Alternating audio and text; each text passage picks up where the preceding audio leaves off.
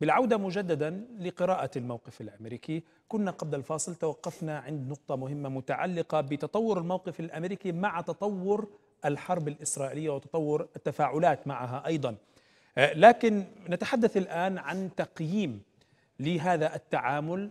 من وجهة نظر دبلوماسي عربي كنت آه، آه، في الولايات المتحدة وتعرف كيف هي التحولات حتى داخل المجتمع الأمريكي مع بداية الحرب داخل الحزب الديمقراطي الحاكم الآن. نأخذ في اعتبار عدة نقاط. أولا الولايات المتحدة منذ البداية انحازت لإسرائيل ولا زالت منحازة لإسرائيل. نعم. إنما منذ اللحظة الأولى أعلن بايدن أنه أمريكا مؤيدة لإسرائيل.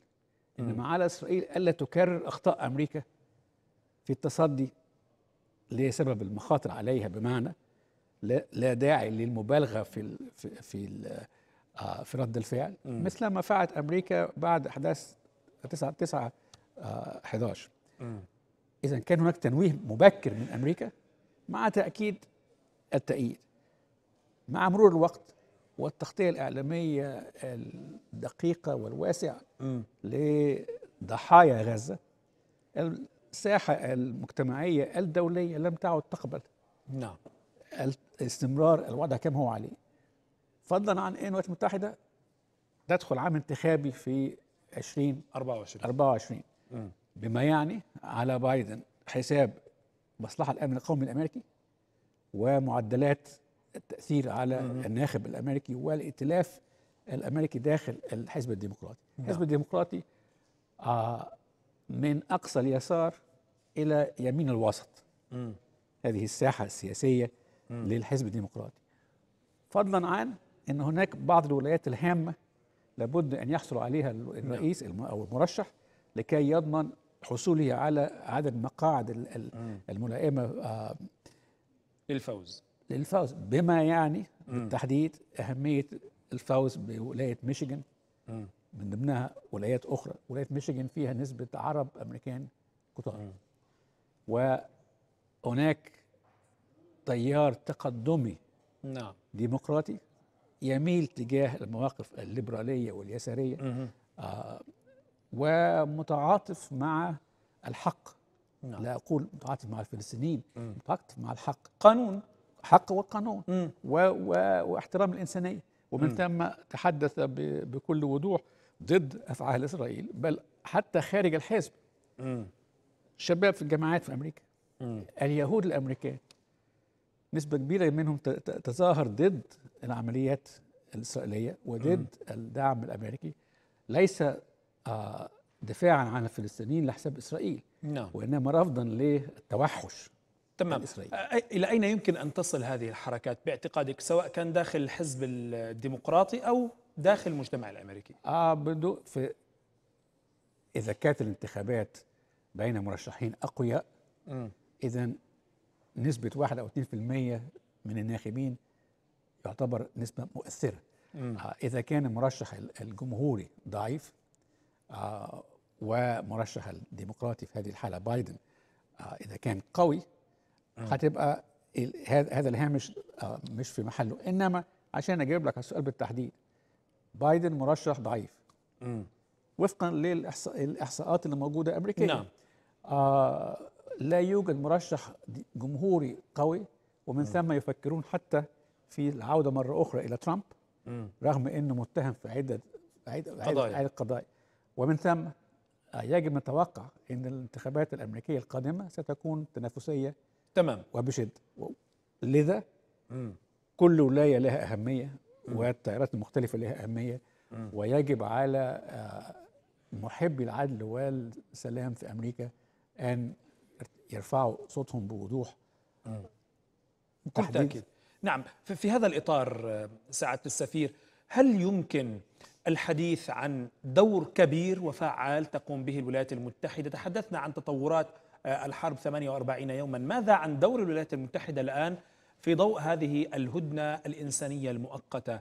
هل لها كان دورا فاعلا وكبيرا أم تم تضخيم هذا الدور إعلاميا لكي آه، يتم تحسين بعضا من الصور التي خرجت عن آه، القيادة الأمريكية عن الرئاسة الأمريكية التي دعمت الحرب على قطاع غزة ومدتها بالسلاح وأصبحت ليست فقط داعما إنما شريكا وفق كثيرين مرة أخرى في رأيي الشخصي نعم الموقف الأمريكي منحاز انحياز مبالغ فيه مم.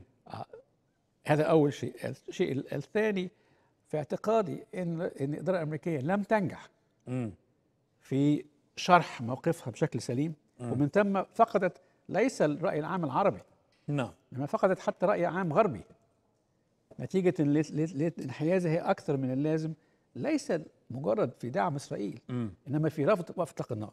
مم. مسألة رفض وقف إطلاق النار حتى حينما يستهدف تستهدف مصحة أو مستشفى. مم. شيء غير منطقي وغير مقبول. نعم مستشفى الشفاء. آه وغيرها. نعم آه. فعمليا أمريكا في موقف غير إيجابي مم. لا يعني هذا ويجب ألا نبالغ إنها ستغير موقفها بالكامل وتقف صف ال- الفلسطينيين الفلسطينيين وإنما في اعتقادي أن هناك آه كانت هناك مساحة من الوقت. توافق أمريكا على إعطاء الضوء الأخضر لإسرائيل مم.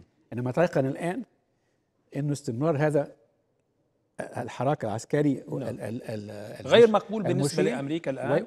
غير مقبول عالميا ويؤثر على أمريكا سلبيا. تمام. لكن هل الولايات المتحدة تمتلك الآن أوراق ضغط تحديدا على نتنياهو من أجل وقف هذه الحرب؟ إذا كانت تريد بالفعل الولايات المتحدة ذلك تصريحات وزير الخارجية أنتوني بلينكن اليوم ردا على يؤاف جالانت وزير الجيش أنه لا يمكن الحديث عن شهور لاستمرار هذه الحرب رغم انحياز أمريكا مم. بدون شك أن عندها القدرة والقوة للضغط على إسرائيل مم. لتغيير موقفها ليس تغيير موقفها في السلام الكامل في أشهر مم. وإنما في وقف الإبادة والاستهداف القسري ومحاولة التهجير القسري للفلسطينيين هذه أمور أدوات في- أيدي أمريكا كثيرة منها اتخاذ موقف مجلس الأمن مختلف عن الفيتو كما شاهدنا منها تخفيف آه، نوعية الأسلحة التي ترسل لإسرائيل. ولعلمك وأنا أعلم هذا من من من عملي هناك. هناك قانون أمريكي لا يسمح باستخدام السلاح الأمريكي ضد مدنيين. مم. من السهل جدا أن تقف أمريكا وتقول أنا آسف هذا السلاح يستخدم فإذا هل هناك آليات؟ نعم آليات هل هل هل يعني يتجه بايدن مم. إلى هذه الخطوة حتى الآن لم يتجه وإنما إذا إذا حاولت إسرائيل التهجير القسري. جنوبا ثم يستهدف هؤلاء مرة أخرى من إسرائيل بغرض دفعهم تجاه الحدود المصرية في رأيي أنا هيحصل ضغط أمريكي شديد